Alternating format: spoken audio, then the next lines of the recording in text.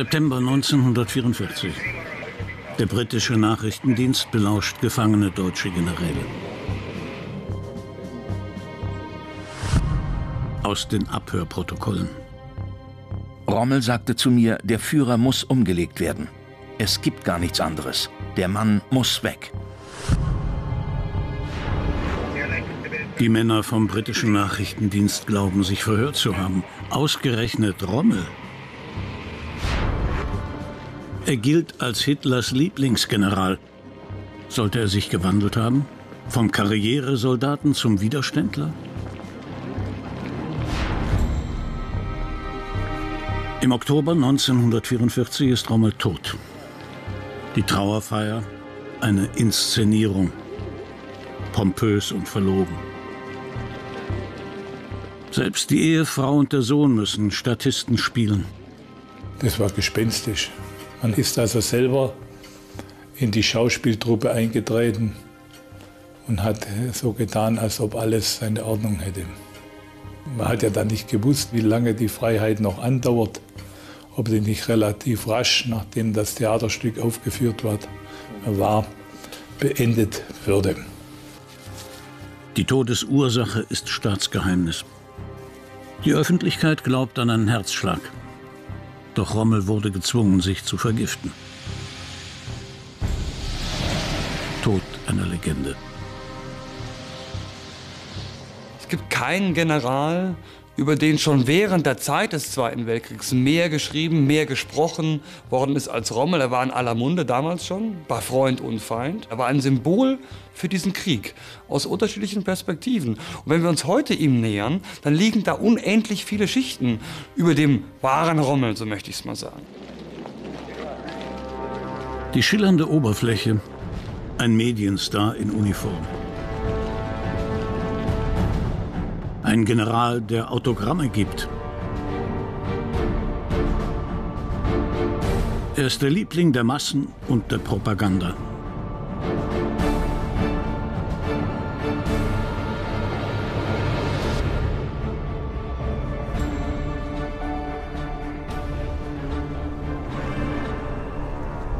Der Mythos entsteht hier, in Libyen. Es ist damals italienische Kolonie. Doch die Italiener sind 1941 dabei, Libyen an die Briten zu verlieren. Im Februar 1941 geht Rommel mit einer Panzerdivision in Tripolis an Land.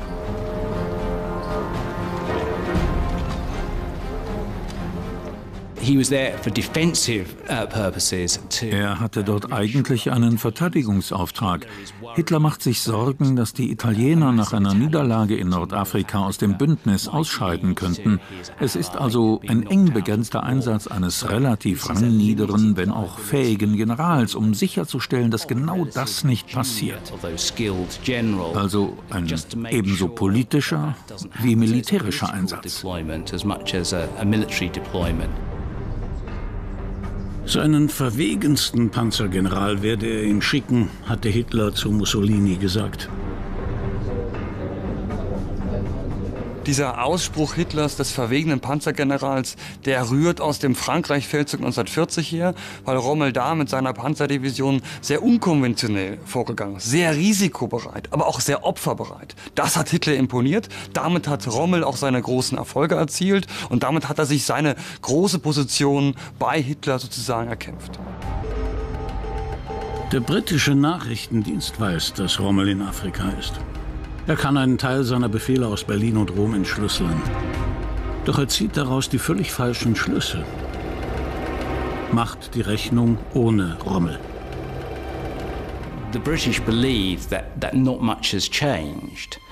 Die Briten glauben, dass sich eigentlich nicht viel verändert hat, aber Rommel hat ganz eigene taktische Vorstellungen und setzt seine Truppe ganz anders ein, als die Briten erwarten.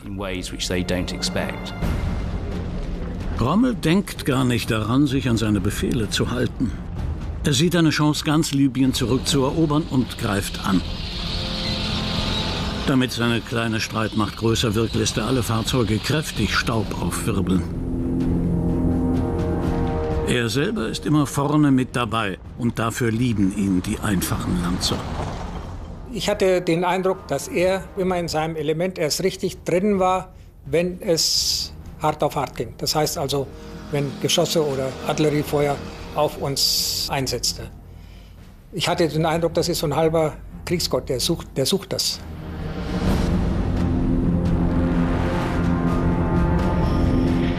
Die Wüste ist der ideale Ort für Rommels Art, Krieg zu führen. Rommel hatte Instinkt, er hatte ein Gespür für das Schlachtfeld und für Schwächen des Gegners. Er ging in Nordafrika enorme Risiken ein. Er war ein Spieler.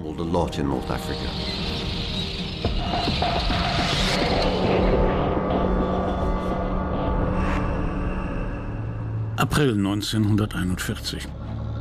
In wenigen Wochen hat Rommels Afrikakorps die Briten fast 1000 Kilometer nach Osten getrieben, nähert sich Tobruk. Was Rommel nicht weiß, die Hafenstadt ist zu einer richtigen Festung ausgebaut mit mehreren Verteidigungsringen. Rommel schloss Tobruk völlig ein und auf der anderen Seite war das Meer. Der einzige Weg, um Tobruk mit Nachschub zu versorgen. Die deutschen Soldaten ahnen nicht, was auf sie zukommt. Eine Festung anzugreifen, das ist neu für Rommel. Er befiehlt, die Verteidigungsanlagen zu durchbrechen.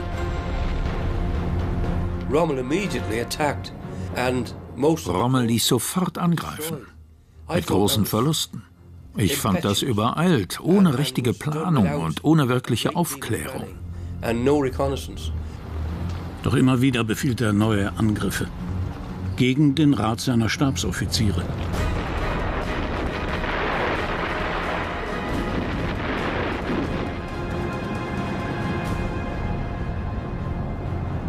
Über tausend Soldaten sterben sinnlos. Es riecht nach Revolte in Rommels Stab. Es muss ein Oberst gewesen sein. Ich kann mich an Namen nicht erinnern, aber genau in dem Vorfall sagte, warum greifen Sie sich weiter an? Und er sagte, äh, äh, Herr General, ich habe schon über 50 Prozent Verluste. Und er sagte, na und, ist das ein Grund, nicht weiter anzugreifen? Greifen Sie weiter an. Und da stand der Oberst da und sagte, meine Soldaten gehen nur weiter vor, nur über meine Leiche. Führungskrise. So sehr ihn die einfachen Lanzer verehren, für seine Stabsoffiziere gilt das nicht unbedingt. Einige sprechen später in britischer Gefangenschaft Klartext. Zum Beispiel General Erwin Manny. Rommel ist persönlich ein Mordskerl, aber vom Strategen keine Spur. Er ist noch nicht einmal ein Taktiker. Er kann überhaupt nicht führen. Professor Sönke Neitzel hat die bislang unveröffentlichten Gesprächsprotokolle entdeckt. Diese Äußerungen über Rommel richten sozusagen den Scheinwerfer auf eine Seite, die die Propaganda natürlich nicht dargestellt hat und die auch die Memoiren nach dem Krieg nicht dargestellt haben. Aber das ist eine Seite von Rommel. Also ein Mann, der eben nicht wie ein moderner Generalstabsoffizier agiert, sondern wie eine Art altgermanischer Heerführer. Und das macht die Generalstabsoffiziere wahnsinnig. So kann man keinen modernen Krieg führen. Ein Mann, der Risiken eingeht, die man nicht unbedingt eingehen muss. Also das gehört zu diesem Gesamtbild Rommel dazu. In diesem April 1941 vor Tobruk kommt Rommel an seine Grenzen. Und die Nerven gehen mit ihm durch. Rommel brüllt schon wieder laut, notiert General Heinrich Kirchheim in sein privates Tagebuch. Rommel wirft ihm Feigheit vor, schreit ihn an, brüllt ihn an. Und äh, das ist für Kirchheim eine ganz tiefe Demütigung, weil man kann einem deutschen General nicht Feigheit vorwerfen. Das ist das Schlimmste, was man ihm vorwerfen kann. Und seit diesen Apriltagen 1941 hat Kirchheim mit Rommel eine Rechnung offen. All das spielt sich im Geheimen ab. Die Menschen in Deutschland bekommen nur den Wüstenfuchs und seine verwegene Truppe zu sehen. Er wird zum Paradepferd im Stall von Propagandaminister Goebbels. Aus der Sicht der Goebbelschen Propaganda ist er der nationalsozialistische General par excellence. Das ist ein Mann, der nicht viele Fragen stellt, sondern handelt, der vom Willen geleitet ist, der mit dem Willen die Bande der Wirklichkeit bricht. So stellt sich die nationalsozialistische Ideologie einen Truppenführer eines modernen Heeres vor. Und Rommel entwickelt regelrecht schauspielerische Talente. Er war auch ein bisschen eitel in der Hinsicht. Und gut, auf der anderen Seite frage ich mich natürlich auch, welcher äh, Mensch ist es nicht oder welcher Mann ist es nicht. Und er hat sich dann schon entsprechend in Positur auf den Panzer gestellt oder sonst wohin gestellt und hat das so ein bisschen begünstigt, würde ich schon sagen. Nette Bilder für die Wochenschau. Er ist ein ehrgeiziger Mensch, wie viele andere natürlich auch. Es gibt auch viele andere Generäle, die das wollen, aber Rommel beherrscht die Grammatik der Medienwelt, der Propaganda einfach besser. Und äh, da kann er punkten und diesen Punktevorteil nutzt Rommel in dem Spiel um Gunst, in dem Spiel um Anerkennung, in dem Spiel um Beförderung, nutzt er aus. Rommel, überlebensgroß. Das schafft Neider und ein Mythos, selbst beim Gegner. Die alliierten Soldaten hatten mit zwei Problemen zu kämpfen. Einmal mit ihrer normalen Angst auf dem Schlachtfeld und dann mussten sie noch ihre Angst vor Rommel überwinden, den manche für eine Art Militärmagier hielten, fähig, Dinge zu tun, die sonst keiner konnte. Rommel sei kein Übermensch, bläuen die britischen Kommandeure ihrer Truppe ein. Doch ein Star ist er auch dort.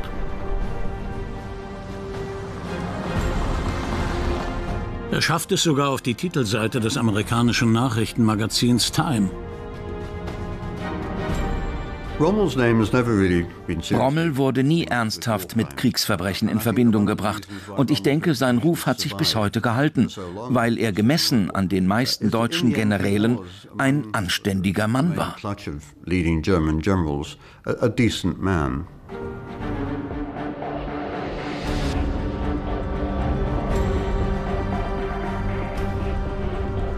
Juni 1942.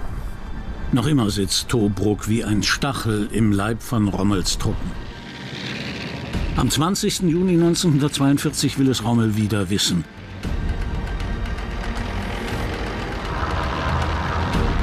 Der Sturm auf Tobruk beginnt.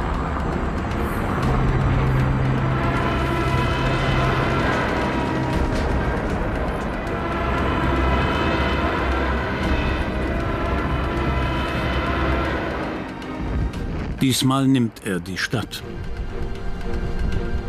und kommentiert den Sieg wie ein Fußballtrainer. Herr Generaloberst, darf ich gehorsam bitten, zu den Operationen hier kurz ein paar Worte zu sagen. Heute krönt die Truppe ihr bisheriges Werk durch Eroberung der Festung Tobruk. Der Sieg der Nation ist sicher.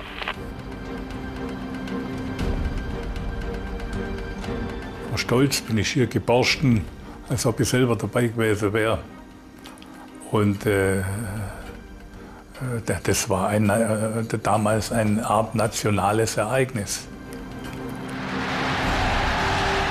Ein nationales Ereignis, das Propagandaminister Goebbels perfekt in Szene setzt. Einige Monate später lässt er den Sieger von Tobruk in den Berliner Sportpalast einziehen wie einen siegreichen Gladiator. Es ist der Höhepunkt von Rommels Karriere. Hitler hat ihn nach der Eroberung von Tobruk zum Feldmarschall befördert. Der Sieg in Afrika erscheint zum Greifen nah Ende Juni 1942.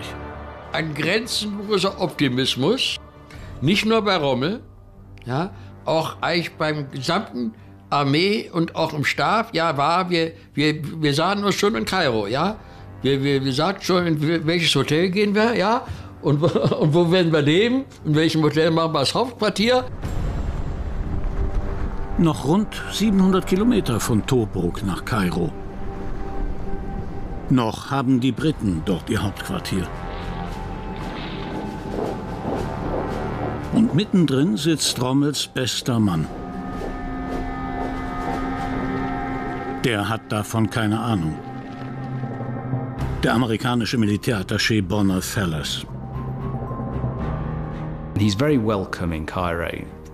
Er war sehr willkommen in Kairo, denn die Briten wollen die Amerikaner ja als Bündnispartner. Sie treten ja erst im Dezember 41 in den Krieg ein. Und so bekommt Fellers absolut goldwerte Informationen, um sie nach Washington zu kabeln. Und leider gehen diese Informationen auch an Rommel. Seine gute Quelle nennt Rommel den amerikanischen Attaché.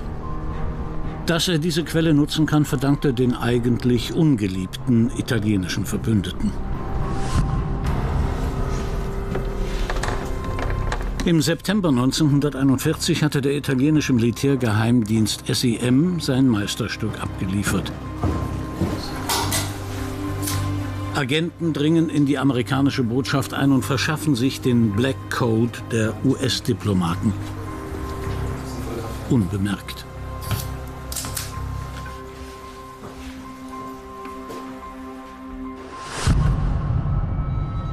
Von da an können die Achsenmächte mitlesen. Auch Rommel. Zum Beispiel eine vollständige Übersicht über alle britischen Kräfte und Verluste in Nordafrika vom Februar 1942.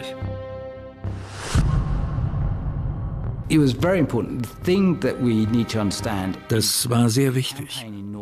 Wir müssen uns klar machen, bei den Kämpfen in Nordafrika ging es immer sehr knapp zu. Und wenn man solche Kenntnisse hat, kann man seine eigenen Kräfte so aufstellen, dass man den schwächsten Punkt des Gegners trifft. Aufklärung war enorm wichtig. Und das gab Rommel einen entscheidenden Vorteil. Einen kleinen Vorteil, aber einen wichtigen Vorteil. Doch Rommels Glück dauert nicht ewig. Im Juli 1942 merken die Amerikaner, dass der Feind mitliest und wechseln den Code. Bonner Fellers, Rommels gute Quelle, kehrt zurück nach Amerika. Und damit nicht genug. Rommel verliert noch eine weitere Quelle, seine unersetzlichen Funkaufklärer an der Front fallen mitsamt den Codes und der Technik in britische Hände. Nun ist er gleichsam blind und taub. Wir sind im Sommer 1942 in der ganz entscheidenden Phase des Afrikakrieges. Und in diesen Wochen wird darüber entschieden, wer gewinnt diesen Krieg, wer verliert diesen Krieg. Und in dieser entscheidenden Phase ist Rommel blind. Rund 1500 Kilometer hat Rommel die Briten im Verlauf von knapp anderthalb Jahren zurückgedrängt. Von Tripolis in Libyen bis zu einer kleinen ägyptischen Bahnstation im Nirgendwo. El Alamein.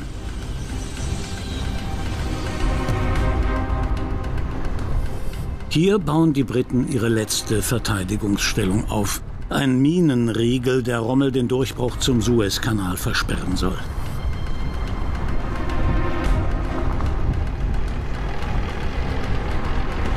Und bald haben sie einen neuen Kommandeur, Bernard Montgomery. Montgomery hatte großen Respekt vor Rommel. Er war regelrecht besessen von ihm. In seinen Befehlen heißt es, wir müssen Rommel schlagen. Nicht die Deutschen. Rommel.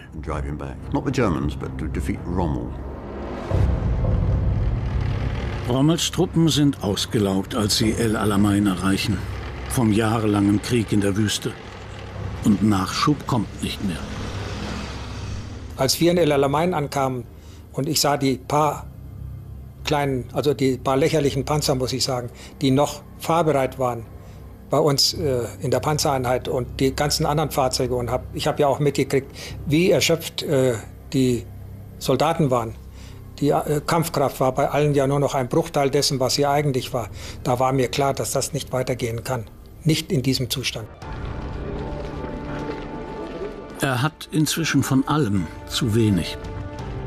Panzer, Treibstoff und Ideen.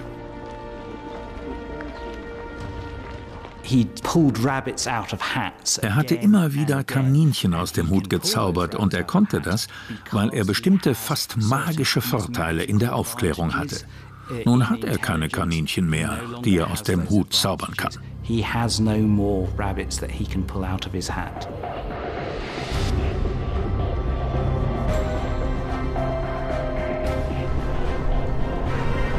»23. Oktober 1942.«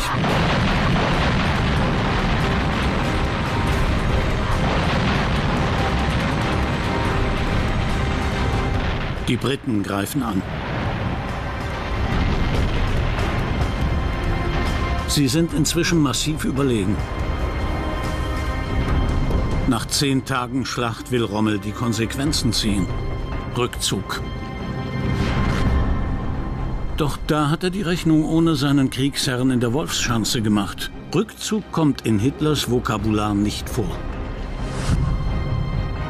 Am 3. November befiehlt Hitler, Ihrer Truppe aber können Sie keinen anderen Weg zeigen als den zum Siege oder zum Tode. Ein Schock für Rommel. Er denke gar nicht daran, das Afrikakorps zu opfern, sagte er, nachdem er Hitlers Befehl erhalten hat. Ich glaube, Rommel hat einkalkuliert, dass ihn sein Gönner auch diesmal wieder nicht im Stich lassen würde. Und umso mehr hat es ihn getroffen, das erste Mal selber von Hitler vor den Kopf gestoßen zu werden. Der Mann, dem er eigentlich alles zu verdanken hatte, der ließ ihn jetzt im Stich. Zwei Tage zögert er, dann befiehlt er eigenmächtig den Rückzug. Die ganze Strecke zurück, die sie gekommen waren und darüber hinaus. Unter dem ständigen Feuer der britischen und inzwischen auch amerikanischen Flieger. Bis nach Tunesien. Ich glaube, dass die meisten Generäle, auch Rommel selber, gar nicht damit gerechnet haben, dass sie es überhaupt bis Tunesien schaffen. Und das war eine taktische Meisterleistung. Und vielleicht ist dieser Rückzug nach Tunesien die größte militärische Leistung Rommels überhaupt. Den Rückzug nach Sizilien verbietet Hitler. So gehen im Mai 1943 130.000 deutsche Soldaten bei Tunis in alliierte Gefangenschaft. Rommel ist nicht mit dabei. Hitler hat ihn schon Monate zuvor zurückbeordert. Es war kein erfreulicher Abschied. Auch auf seiner Seite, das sah man ihm an. Dass er äh, wegging, wohl mit dem Gefühl schon, äh, das ist hier zu Ende in Nordafrika. Und wahrscheinlich hat er auch da schon gefühlt, dass es insgesamt nicht mehr zum Erfolg werden wird.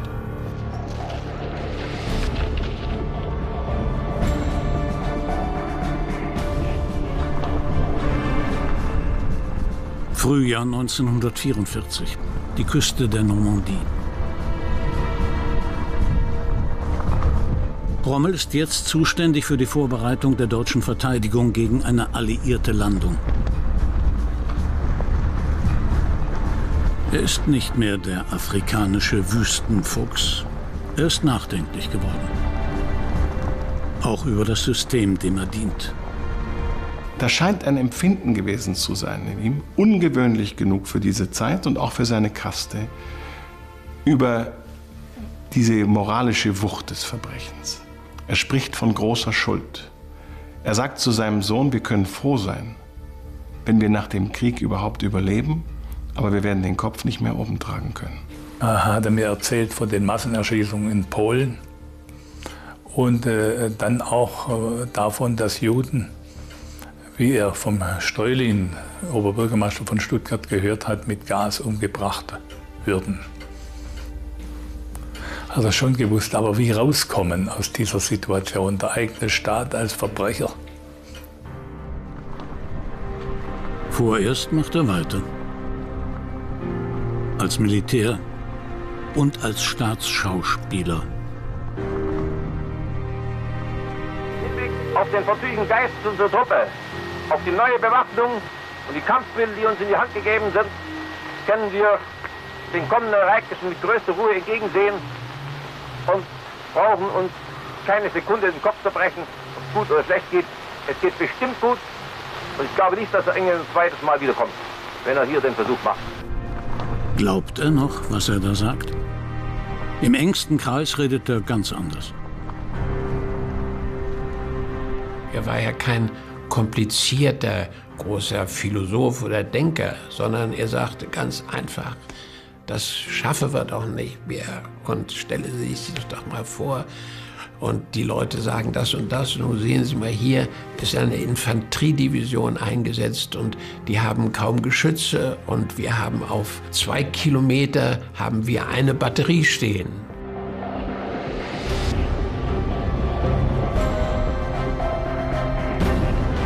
Sechster Juni 1944.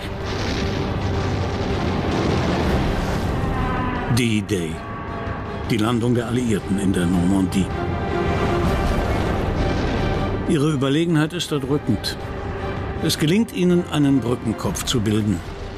Und nach wenigen Tagen ist klar, diese Schlacht ist für die Wehrmacht nicht mehr zu gewinnen. Der Krieg im Westen ist damit verloren. Das weiß Rommel besser als die meisten anderen.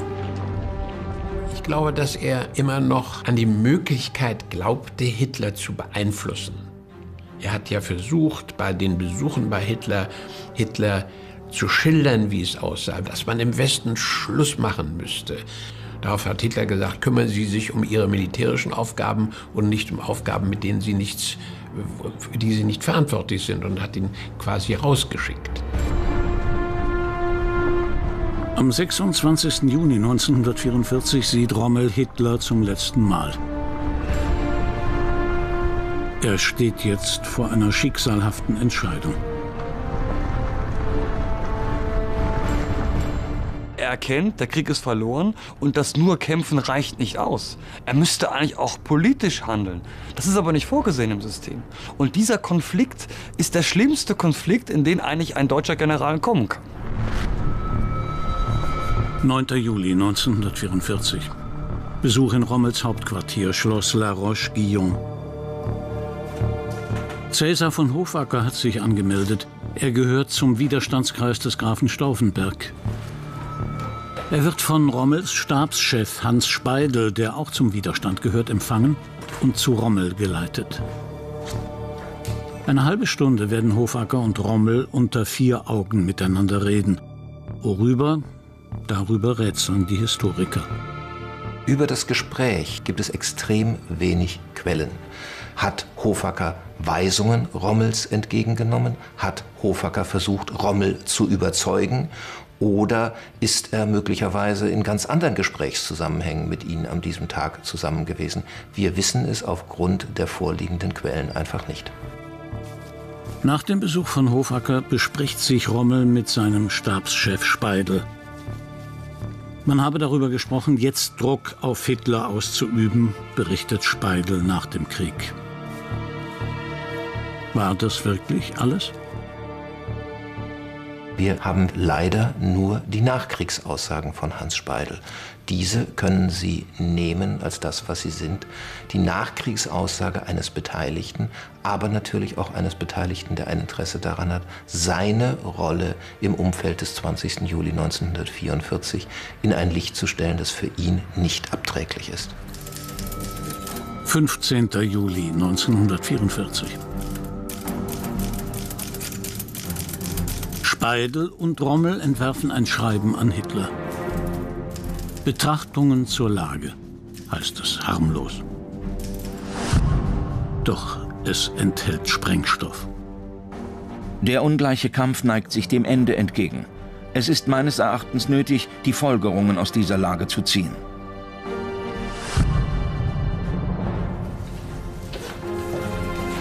Hitler schriftlich aufzufordern, den Krieg zu beenden, das ist unerhört.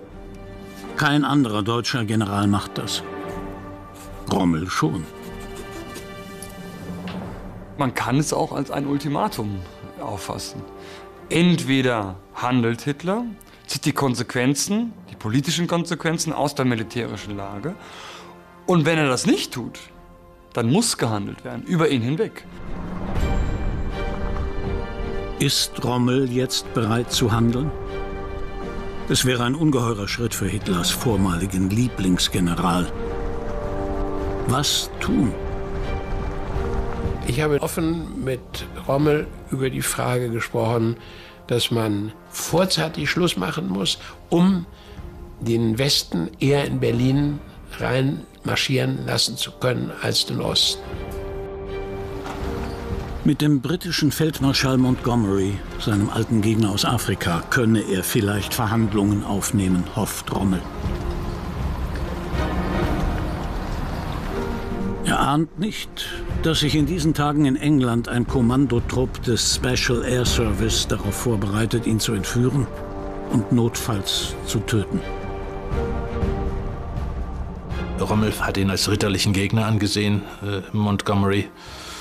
Und er äh, vertraute ihm in einer gewissen Art und Weise, äh, was natürlich auch wiederum zeigt, äh, dass er letztlich und endlich politisch naiv ist. Er ist letztlich und endlich geprägt vom ritterlichen Soldatentum äh, einer Zeit, die vorüber ist.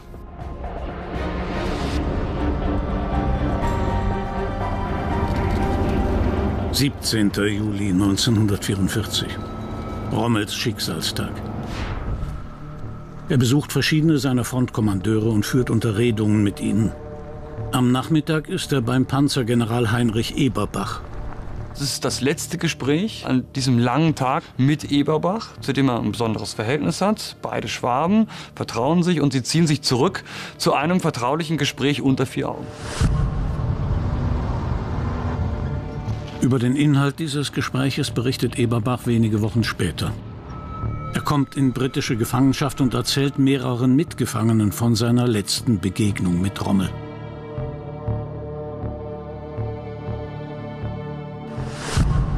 Die Briten hören mit. Aus den Abhörprotokollen. Rommel sagte zu mir draußen an der Front, es gibt gar keine andere Möglichkeit mehr, mit Deutschland noch irgendwie vernünftig durchzukommen, als dass wir den Führer und seine engste Sippschaft möglichst schnell umbringen. Dieses Dokument bietet eigentlich doch ein sehr starkes Indiz. Kein Beweis, aber ein sehr starkes Indiz dafür, dass Rommel mit Eberbach sehr offen gesprochen hat und dass Rommel bereit war, den Tod Hitlers zu akzeptieren in dieser Situation oder er sogar ihn sich herbeigewünscht hat. Ein Dokument, das unter Historikern für Zündstoff sorgt. Aus meiner Sicht äh, widerspricht dieses Dokument allem, was wir über Rommel wissen. Es passt nicht zu seinem Charakter, es passt nicht zu seiner Bindung an Hitler und es passt auch nicht in die konkrete Situation des Juli, Juni, Juli 1944. Ich glaube schon, dass dieses Dokument zu Rommel passt. Denn Rommel ähm, ist kein statische, keine statische Person. Es ist ein Prozess, den er in diesem Krieg durchmacht. Und die Normandie wird für ihn zum Schlüsselerlebnis. Und am Ende dieses Schlüsselerlebnisses steht eben dieses Gespräch mit Eberbach. 17. Juli 1944 gegen 18 Uhr. Nach dem Gespräch mit Heinrich Eberbach ist Rommel auf dem Rückweg.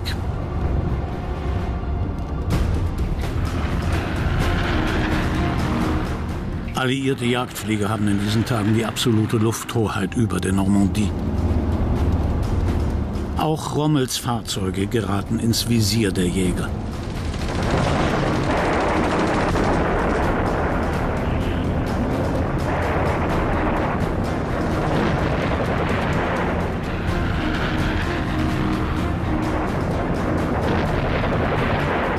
Und mein Vater ist dann mit Splittern übersät hinausgeflogen zum Auto.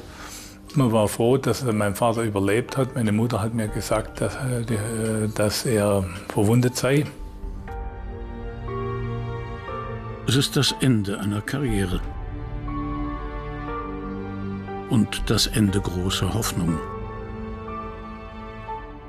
Von allem, was wir von Rommel wissen, wäre Rommel bereit gewesen, im in letzter Konsequenz einen Waffenstillstand im Westen zu schließen, die Front im Westen zu öffnen und damit letztlich den Krieg zu beenden.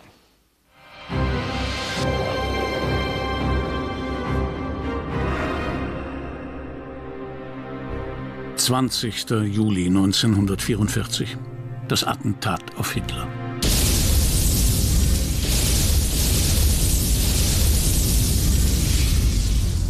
Es scheitert. Eine ganz kleine Clique ehrgeiziger, gewissenloser und zugleich unvernünftiger, verbrecherisch dummer Offiziere hat ein Komplott geschmiedet, um mich zu beseitigen. Es ist ein ganz kleiner Klüngel verbrecherischer Elemente, die jetzt unbarmherzig ausgerottet werden. Ein blutiges Beispiel werde es jetzt geben, sagt Hitler. Besuch im Lazarett bei den Offizieren, die bei dem Anschlag verwundet wurden. Auch Rommel ist in diesen Tagen im Lazarett in Frankreich. An seine Frau schreibt er, zu meinem Unfall hat mich das Attentat auf den Führer besonders stark erschüttert. Man kann Gott danken, dass es so gut abgegangen ist. Das ist eine Absicherung. Das ist den Führergetreuen, den unreflektierten Anhänger geben zur Absicherung. Das ist für die Zensur geschrieben. Dass er später seine Familie und sein engeres Umfeld aus den tatsächlichen Zusammenhängen heraushält und einfach nur sagt, ich habe davon nichts gewusst, das ist für mich eine Strategie zum Schutz der Menschen, die ihm am Herzen liegen. Am 7. August 1944 beginnen die Prozesse des sogenannten Volksgerichtshofes gegen die Verschwörer unter dem Vorsitz von Hitlers Blutrichter Roland Freisler. Die Angeklagten gedemütigt, zum Teil geschlagen und gefoltert, aber aufrecht. Wesentlich gedacht an die vielen Morde. Morde? Die im Inland Sie sind ja ein schäbiger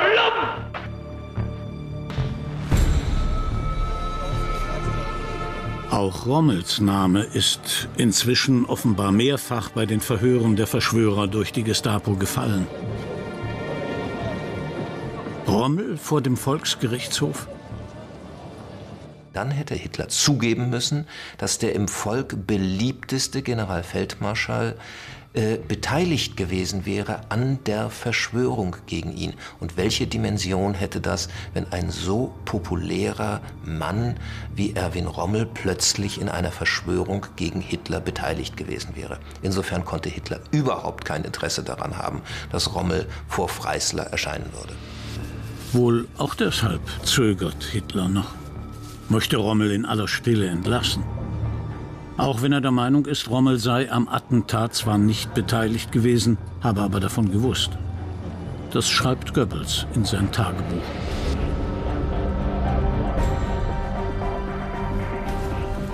Mitte September 1944. Der sogenannte Ehrenhof der Wehrmacht kommt zusammen. Seine Aufgabe, verdächtige Offiziere aus der Wehrmacht auszuschließen und damit letztlich dem Henker zu übergeben. Diesmal geht es auch um Rommels Schicksal.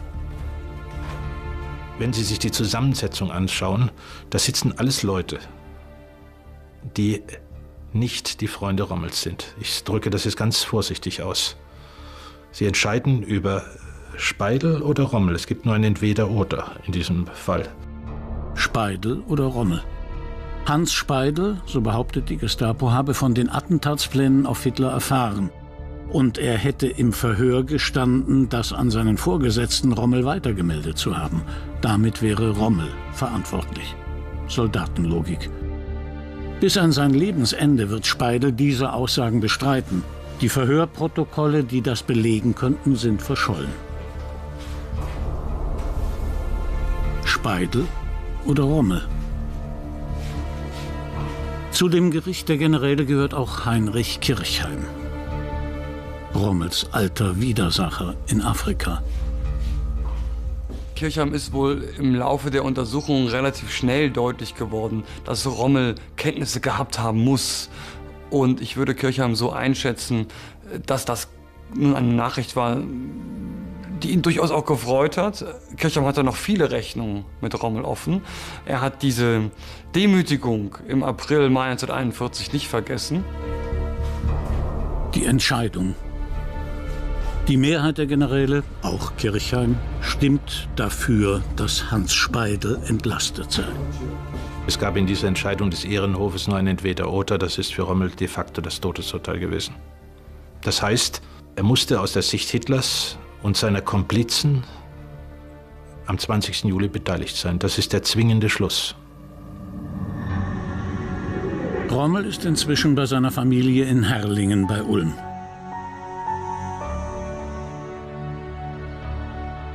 Gespräche mit dem Sohn.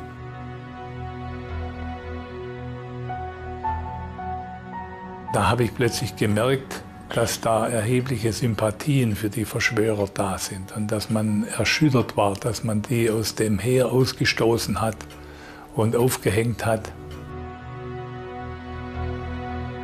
Er weiß offenbar, dass sich die Schlinge um seinen Hals immer enger zuzieht. Dann standen so Gestapo-Leute vor dem Haus, Tag und Nacht mit einem Wagen. Da hat mein Vater gesagt, also hier so bequem macht er es denen nicht, dass er sich hier erschießen lässt. Er hat eine militärische Wache kommen lassen, die sein Haus besetzt hat. Also es hat schon, äh, es ist immer deutlicher geworden, dass er da irgendwie verstrickt ist. Es ist die Zeit der Intriganten. Martin Bormann, Hitlers Sekretär, ist Rommels Intimfeind von Anfang an. Jetzt sieht er die Chance, Rommel zu erledigen. Aktennotiz Bormanns vom 28. September 1944. Verschiedene der noch lebenden Angeklagten sagten aus, der Feldmarschall sei über das Attentat durchaus im Bilde gewesen. Rommel habe erklärt, dass er der neuen Regierung nach gelungenem Attentat zur Verfügung stehen werde. Da wird ein Mensch denunziert, auch mit Kleinigkeiten. Da steht in dem Ding drin, er ist ja so eitel, er hat eine Brille und die benutzt er immer nur dann, wenn er die Karten lesen muss, schmuddelig. Da lässt jemand seinen Hass raus. Er habe mit Hitler gesprochen, schreibt Bormann. Die weitere Behandlung liege nun in den Händen von Feldmarschall Keitel. Es ist ein Komplott gegen Rommel inszeniert worden von seinem ehemaligen Gegner. Das fängt beim Ehrenhof an und hört in der unmittelbaren Umgebung Hitlers in Gestalt von Bormann und Keitel auf. Am 14. Oktober 1944 kommen die Todesboten nach Herrlingen. Mit einer Wahl für Rommel, die keine ist. Entweder Volksgerichtshof und Sippenhaft für die Familie oder Selbstmord und ein Staatsbegräbnis. Er war hoch erregt, er war auch bleich, aber selbstbeherrscht. Er hat, also die Stimme hat nicht geschwankt und auf jeden Fall erschien ihm das die günstigste Lösung. Er hat dann noch gesagt, es darf nichts über den wahren Hergang bekannt werden.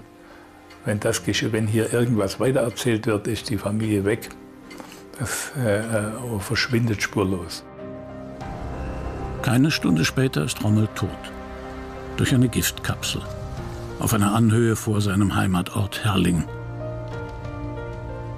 Was er vom Attentat auf Hitler wusste, dieses Geheimnis hat er wohl mit ins Grab genommen. Doch eines ist inzwischen sicher. Am Ende war auch er bereit zu handeln und gegen Hitler aufzustehen. Als einer der ganz wenigen.